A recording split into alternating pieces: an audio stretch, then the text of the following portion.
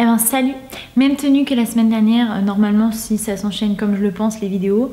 Euh, bon je vais pas le dire à chaque fois, en fait on s'en fout, non, euh, en fait je filme mes vidéos deux par deux quand je peux, donc voilà. Mais qu'est-ce qui se casse la gueule? Attends Non mais j'ai cru... j'ai cru qu'un oiseau euh, mort qui était tombé euh, devant ma fenêtre. Non mais n'importe quoi, je suis carrément morbide.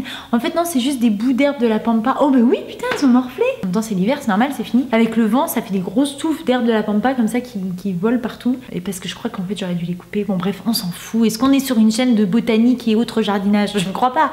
Euh, aujourd'hui, c'est une vidéo pour te présenter ma pile à lire. Il y a Audrey du Souffle des mots qui fait chaque année un mois petit. Oh là, attends. Petit mois, petite lecture. Ou alors petite lecture, petit mois. ça revient au même. Hein. J'avoue qu'elle n'en a pas encore parlé cette année et que ça se trouve c'est le seule année où elle va pas le faire. Mais moi, je n'ai jamais participé, je décide de faire ça cette année. Est-ce que c'est un challenge? Est-ce que ça va compter dans mes challenges de l'année? Je sais pas si c'est un challenge. Bon, si c'est un peu un challenge de lire des petits livres, surtout pour moi qui aime plutôt, euh, qui aime plutôt quand les choses prennent du temps en termes de présentation des personnages, des univers et tout ça. Toujours est-il que j'ai prévu 10 lectures. Mais non, mais j'ai oublié de te dire c'était quoi le challenge? Oh là là, mais en gros, euh, vu que c'est un mois plus court, Audrey propose de lire des livres courts. Et l'année dernière, si je me souviens bien, c'était moins de 200 pages. Donc euh, franchement, j'en ai aucune idée si c'est relancé cette année. J'imagine que oui. Toujours est-il que moi, je le fais. Donc j'ai sélectionné 10 livres de moins de 200 pages et j'espère lire les 10. C'est hyper prétentieux sachant que là on est fin janvier et que j'ai lu un livre. Le premier c'est Métamorphose en bord de ciel de Mathias Malzieu. Ah mais je sais, c'est qu'il fait noir en fait. Je ne vais jamais y arriver. Est-ce que ça change quelque chose? J'en sais rien. Bon, faudrait que je recommence l'intro avec la bonne lumière, mais écoute, on va pas s'en sortir si je fais ça, donc j'enchaîne. Ah, ça doit être en dingo que je mette autant de temps. Mes livres, on y va. Le premier, c'est donc Métamorphose en bord de ciel de Mathias Malzieu. Il y a longtemps que j'ai pas lu Mathias Malzieu. C'est quelqu'un que j'ai beaucoup apprécié lire il y a quelques années. Je sais pas si ça va encore autant m'emporter. Je me suis remarqué une sensibilité peut-être vers les hum, styles plus épurés. Il y a à peu près 130 pages. Ça parle d'un homme, je crois, qui est malade, qui est cascadeur, qui rêve de voler, qui rencontre une femme mi-femme, mi-oiseau. Un truc un peu chelou, quoi. Euh, bon, franchement, je pense, euh, je pense arriver à lire. Le deuxième livre que j'ai choisi de lire, et là j'y crois vraiment un cran au-dessus, c'est Monsieur Ibrahim et les fleurs du Coran de Eric Emmanuel Schmitt. Ça fait un bout de temps que je voulais lire celui-ci et euh, voilà, je l'ai trouvé d'occasion à Emmaüs. Donc, euh, bah, une fois de plus, hein, là c'est extrêmement court. En plus, c'est écrit gros, c'est aéré et tout ça. C'est moins de 100 pages, je crois. 85 pages. J'aime beaucoup le style d'Eric Emmanuel Schmitt. Cependant, j'aimais quand même une petite réserve, malgré que ce soit lui, de m'embarquer en 85 pages mais euh, il l'a déjà fait sur un court roman, notamment avec Oscar et la Dame Rose qui m'avait bouleversée. Donc évidemment, il avait sa, place euh, dans ma pile à lire. Si j'ai un petit down, tu vois, dans mes lectures, je sortirai celui-là. Et là, je vais te lire le, le résumé des quelques lignes. À 13 ans, Momo se retrouve livré à lui-même. Il a un ami, un seul, Monsieur Ibrahim, l'épicier arabe de la rue Bleue.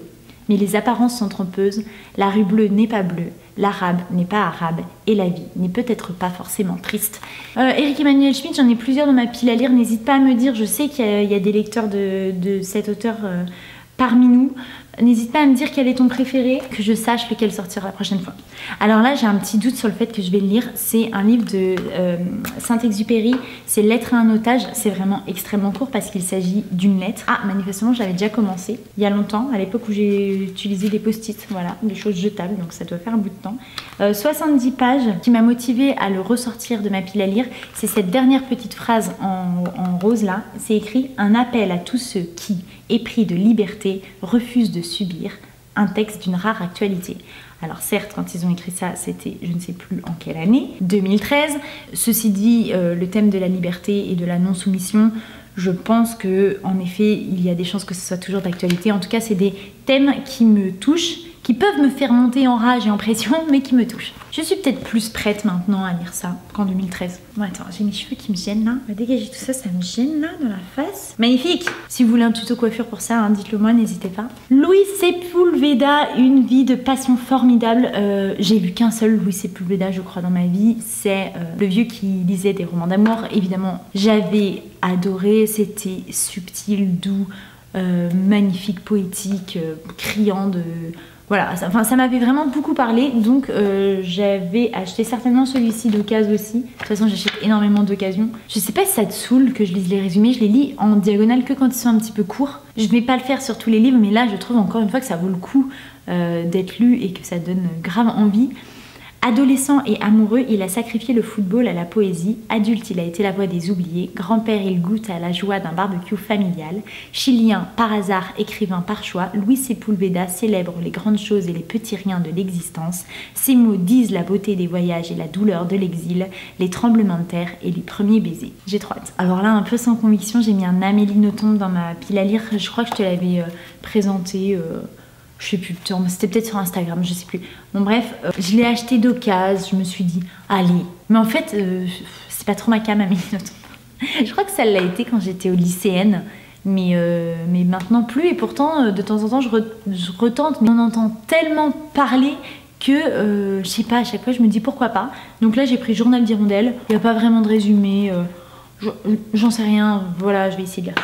Ah, ça a l'air d'être un peu de la triche ça. Ça fait moins de 200 pages? 211. 211, ça passe. C'est Licorne de Nora Sandor. Euh, je sais plus, il est un peu abîmé. Hein. Pareil, je l'ai eu d'occasion, bon, bref, on s'en fout. 2019, oui, voilà, c'est ce que j'allais dire. Il est sorti il y a pas si longtemps. Je crois que j'avais euh, entendu peut-être Margot en parler, mais je ne sais plus, Margot liseuse, mais je ne sais plus du tout ce qu'elle en disait. Et je crois que le thème, c'est vraiment les réseaux sociaux. Une jeune fille euh, de maintenant qui va un peu rentrer dans ce monde star des réseaux sociaux, je ne sais quoi. Elle va se se rapprocher d'un rappeur, je crois. C'est vraiment une envie qu'elle a. Je crois que les avis que j'avais lus dessus étaient assez mitigés. Donc j'attends de, voir. Voilà, je l'ai mis dedans parce que un, roman un petit peu récent, je me suis dit pourquoi pas pour faire euh, euh, des variantes dans ma pile à lire. Bon, un Stéphane Zweig, oui, ça ne se dit pas Zweig, mais écoute, je dis Zweig.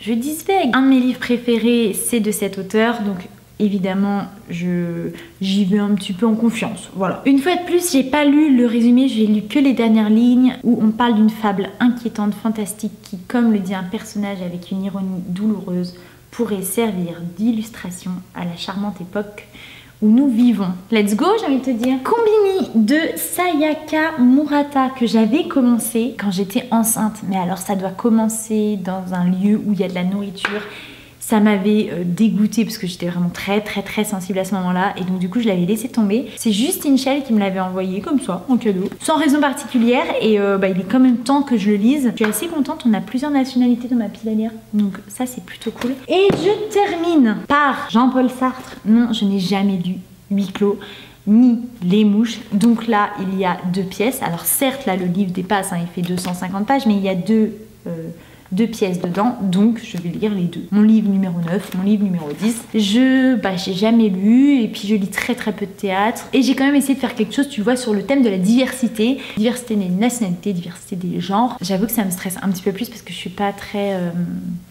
très habituée à lire euh, des pièces de théâtre donc euh, bon mais je vais quand même tenter franchement je vais pas le laisser de côté ça je vais tenter bon bah voilà une vidéo sans prétention de toute façon les piles à lire c'est toujours un petit peu ça hein. tu tu présentes les trucs quoi. Bon bah des bisous et puis on se retrouve vite normalement si je continue à garder le cap.